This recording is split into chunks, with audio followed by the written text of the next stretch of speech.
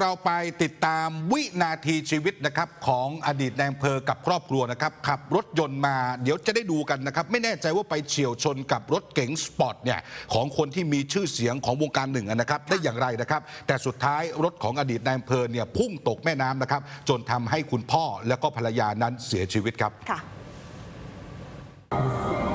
โอ้โหโอ้โหอุ้ยเพิ่งเกิดเมื่อกี้นี่อุ้ยอะไรครับเกิดอะไรขึ้นอะเออมันชน ซ้ำเนี่ยเฮ้ยพี่เราระวังนะ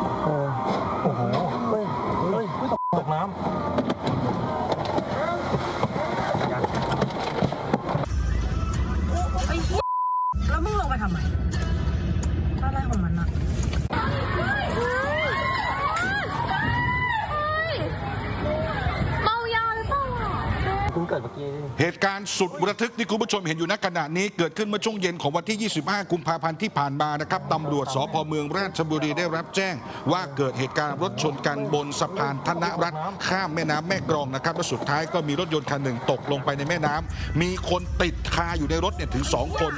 รีบประสานให้นักประดาน้ำเข้าให้การช่วยเหลือนะครับในจุดเกิดเหตุเนี่ยตอนแรกไปเจอรถเก๋งยี่ห้อนิสสัน350 Z Sport สีบรอนซ์ป้ายทะเบียนจังหวัดเพชรบุรีสภาพด้านหน้าของรถเนี่ยแล้วก็ด้านซ้ายเนี่ยพังยับนะครับมีคนนี้ครับนายสิทธิศักดิ์เสียงหวานหรือว่าคุณหมึกบอนไซ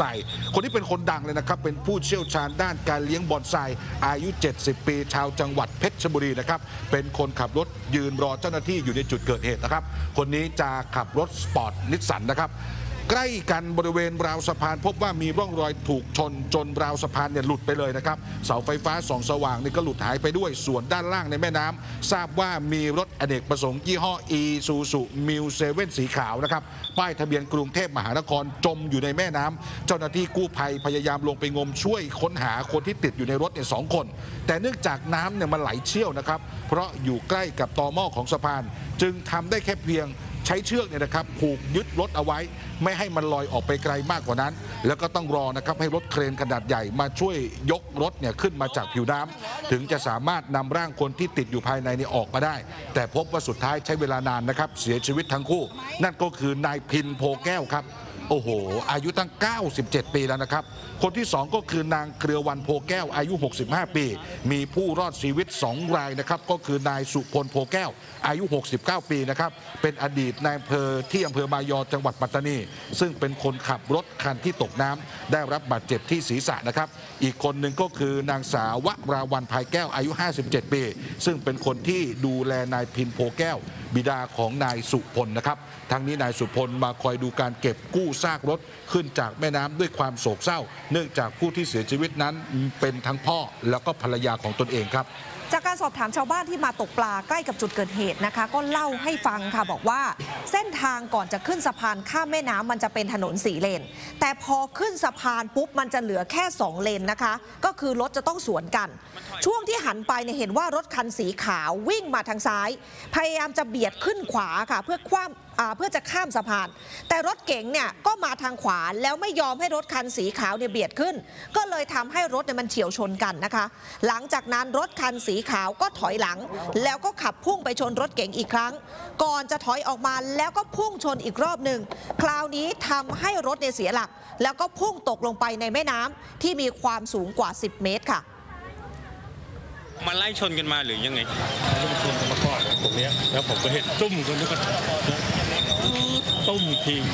อื้อตุ้มอีกทีตุ้มอีกทีแล้วถึงลงน้ำชนกันทีนี้คันที่ตกลงไปในน้ำคันนั้นจะถอย แล้วก็ชนอัดเข้าอีกถอยแล้วก็อัดเข้าไปอ่าถอยถอยแล้วก็ชนอัดเข้าอีกชนอยู่ประมาณสองทีอะพี่อืมแล้วครั้งที่สามมันเหมือนมันมิ่นแล้วรถเก่งมันมิ่นแล้วมันชนทีนี้มันพรวดลงอ๋อ ชนชนพลาดก็เลยรถคันก็เลยตกนี่ตมันกชนน้ำโดนน่าจะโดนสะเก็ดหน้าน้อยเดียว แล้วมันก็เลยพลิกปุ๊บมาเลยชนกันหลายครั้งเลยเหรอชนประมาณสองทีครับ มันเหมือนไล่ชนกันมาหรือเปล่าหรือยังไง ผมไม่แน่ใจไม่ว่าแน่ใจเห็นว่ามันว่ามันชนไล่กันมาหรือยังไงอืม แต่คือแบบชนมาครั้งแรกปุ๊บแล้วมันก็ถอยแล้วมันก็ชนอีกอืมแล้วก็ถอยทีนี้รอบสุดท้ายมันมิ่นพอดีอะปุ๊บอืมแล้วก็พลิกลงมาเลยตุ้ม อืม เห็นเลยเห็นลอยลงไปเลยใช่ไหมขขณะที่คุณสุพล อดีตนายอำเภอมายอจังหวัดปัตตานีบอกว่าจะแซงรถเก่งขึ้นไป แต่ไปเกิดเฉียวชนกัน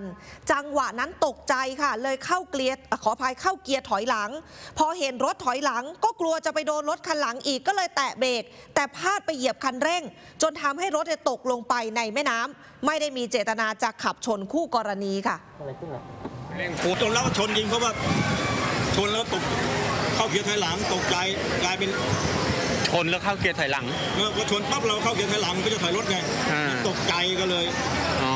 เพราะว่าถอยหลังจะทบอีกก็เลย กลายเป็นเหยียบคันเร่งไปเหยียบคันเร่งพรวดชนทีนี้เลยพลาดข้ามเข้ามานี่เลย อ๋ออืมคือกลายเป็นถอยหลังสองเที่ยวชนก็สองเที่ยวอืมเหมือนเขาเป็นอะไรบ้างเหมือนกันเนี่ยแล้วแล้วในรถเมื่อวานทั้งหมดกี่คนพี่ตี เหลืออีกสองแค่ผมก็ปูปูพ่อผมละอ๋อครับผมไปหลัง ทางด้าน คุณสิทธิศักดิ์หรือว่าคุณหมึกบอนไซ ซึ่งเป็นผู้เชี่ยวชาญด้านการเลี้ยงบอนไซก็บอกนะคะ ว่ารถคันที่ตกน้ำเบียดมาทางด้านซ้ายรถของตนเอง แล้วก็ขึ้นมาชนที่ล้อด้านหน้าซ้ายทำให้รถของตนเองเสียหลักขวางถนนเฉียง 45 องศา ปรากฏว่ารถคู่กรณีก็คือรถคันขาวถอยหลัง แล้วก็พุ่งมาชนด้านข้างประตูรถด้านซ้ายอีกทำแบบนี้สองครั้งก่อนที่รถของคู่กรณี จะพุ่งตกลงไปในแม่น้ำเองนะคะ ยืนยันไม่ได้รู้จักกับคนขับรถคันดังกล่าวไม่ได้มีเรื่องอะไรกันมาก่อน แล้วยินดีที่จะให้เจ้าหน้าที่ทำการตรวจสอบทุกอย่างค่ะจะกลับบ้านไปกลับที่เพชรบุรีไปไปไปไปไปไปทำธุระมาจะกลับไปไปที่เนี่ยไปอ่าเขางูไปซื้อลวดอะไปซื้อลวดจากต้นไม้บนไตมาเนี่ยอยู่ในรถนี่เลยแล้วก็ไม่เคยรู้จักกันมาก่อนเลยไม่มีการปาดไม่มี เป็นปาดได้ยังไงเข้ามาเลนซ้ายเนี่ยผมวิ่งมาเรื่อยๆเข้ามาเลนซ้ายก็จะแซงซ้ายมามาแซงไม่ทันเข้ามาเร็วแล้วใครบางคนบอกว่ามาเร็ว ก็ชนข้างผมก่อนเลยชนข้างตรงนี้ก่อนเลยชนนี้ก่อนเลยชนล้อเนี่ยชนล้อเสร็จผมหมุนหมุนเสร็จวิ่งมาชนอีกทีตรงนี้ตุ้มผมหมุนอีกทีวิ่งชนมืออีกทีแล้วผมหลบได้เขาก็เลยหลุดลงไปล่างไงเจตนาฆ่าเนี่ยฮะเดี๋ยวมาชนตรงนี้ก่อนนี่ชนนี่ก่อน เกียบมันเราเสียหลักลงเลยใช่ถ้าชนแล้วตั้งสามทีไม่ได้ชนทีเดียวที่ไหนเลย เบื้องต้นนะครับตำรวจตรวจสอบคลิปจากชาวบ้านที่ถ่ายเอาไว้ในมุมต่างๆนะครับแล้วก็เป็นไปตามคำให้การของคุณหมึกบอนไซหมดเลยนะครับโดยชาวบ้านที่มาตกปลาใกล้ๆ จุดเกิดเหตุก็เล่าให้ฟังด้วยนะครับแต่ทั้งนี้จะต้องทำการสอบสวนทั้งสองฝ่าย ว่าเหตุการณ์เนี่ยมันมีที่มาที่ไปอย่างไร ก่อนที่จะมาประสบอุบัติเหตุ เพื่อที่จะดำเนินคดีตามกฎหมายกับผู้ที่กระทำความผิดต่อไปนะครับสำหรับคุณสุพลเป็นอดีตนายอำเภออำเภอมายอในปี 2556 นะครับเคยประสบเหตุคนร้ายเนี่ยยิง M79 นะครับถล่มบ้านพักมาแล้วนะครับ แต่ครั้งนั้นเนี่ยเคราะห์ดีที่ระเบิดเนี่ยพลาดเป้า ตกห่างจากบ้านพักไปแค่เพียง 15 เมตร แล้วก็มีชาวบ้านนะครับไปให้กำลังใจเป็นจำนวนมาก หลังจากนั้นพันตำรวจเอกทรงวุฒิภูมิกับการสพเมืองราชบุรีนะครับบอกว่าตอนนี้ยังไม่ได้สอบปากคำคู่กรณีทั้งสองฝ่ายต้องรอให้คุณสุพลเนี่ยนะครับจัดงานศพให้กับบิดากับภรรยาให้เรียบร้อยก่อน เบื้องต้นในเรื่องของความผิดก็จะแจ้งข้อกล่าวหากับทางนายสุพล ในข้อหานะครับขับรถประมาทเป็นให้ผู้เป็นเหตุให้ผู้อื่นถึงแก่ความตายนะครับ แล้วก็ทำให้ทรัพย์ของทางราชการนั้นเสียหาย ส่วนข้อหาอื่น ๆ ที่ทางผู้เสียหายก็คือคุณสิทธิศักดิ์หรือว่าคุณหมึกบอนไซเตรียมจะแจ้งข้อกล่าวหาพยายามฆ่าหรือไม่นั้น ยังไม่ได้มีการแจ้งความหรือว่าสอบปากคำแต่ประการใดนะครับ ขณะที่คุณชัชวานพดุงกิจรองผู้อำนวยการแขวงทางหลวงราชบุรี บอกนะครับว่าหลังเกิดอุบัติเหตุทางแขวงทางหลวงราชบุรี ได้นำ barrier พลาสติกใส่น้ำสีส้ม มาติดป้องกันอุบัติเหตุซ้ำซ้อนนะครับช่วงราวสะพานเดิมที่ชำรุด แล้วก็มีการตั้ง barrier เอาไว้ถึง 2 ชั้นนะครับแล้ววันที่ 27ที่จะถึงนี้นะครับจะนำ guardrail มาติดตั้ง เหมือนสะพานสิริรักษ์เพื่อให้มีความแน่นหนามากยิ่งขึ้นครับค่ะ